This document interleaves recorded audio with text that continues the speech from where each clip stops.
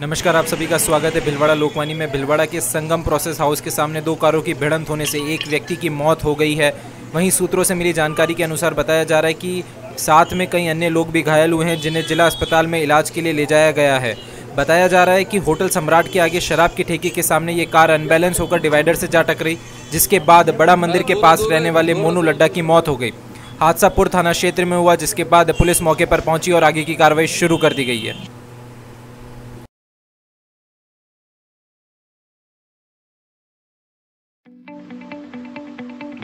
Stay updated always with Bhilwara Lokmani News app. हम लाते हैं breaking news आपके लिए हर दिन।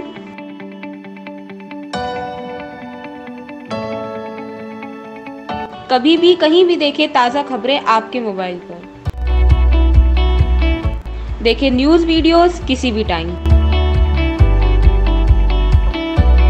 हमारे साथ जुड़े रहे और डाउनलोड करें Bhilwara Lokvani app available on play store download now